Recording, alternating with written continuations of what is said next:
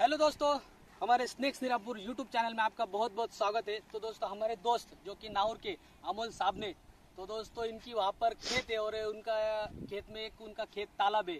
तो इनके खेत तालाब से दोस्तों, उन्होंने एक सांप पकड़ कर लाया है और ये एक जहरीला सांप है, जो कि है रसल स्वाइपर इसे हिंदी में घोनस सांप कहा जाता है और मराठी में दोस्तों, परोड़ सांप इसे कहते हैं। तो दोस्तों, ये बहुत ही जहरीला सांप है, हिमोटॉक्सिक नाम का इसमें जहर होता है। जो कि ये हमारे शरीर के लिए बहुत ही घातक होता है।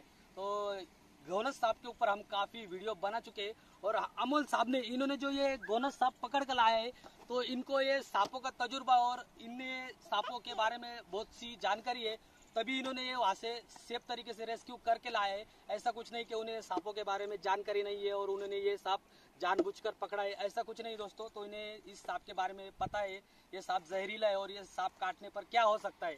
फिर भी इन्होंने उनके डेयरिंग पर इस सांप को सेफ़ तरीके से रेस्क्यू करके लाया है और उन्होंने एक सांप की जान बचाई है। मैं उनका बहुत ही शुक्रिया अदा करता हूँ कि उन्होंने एक सांप और इनके ये दोस्त है वहाँ के सब। तो इनका भी मैं बहुत बहुत शुक्रिया करता हूँ और इस सांप को हम उसके जंगल में, पर्यावरण में नेचर में रिलीज़ करने के लिए लाए तो अभी हम इसे रिलीज़ कर रहे हैं। तो देखिए दोस्तों, ये सांप किस तरह से जाता है? कैमरा मैन थोड़ा सा कैमरा नज़दीक लाइए।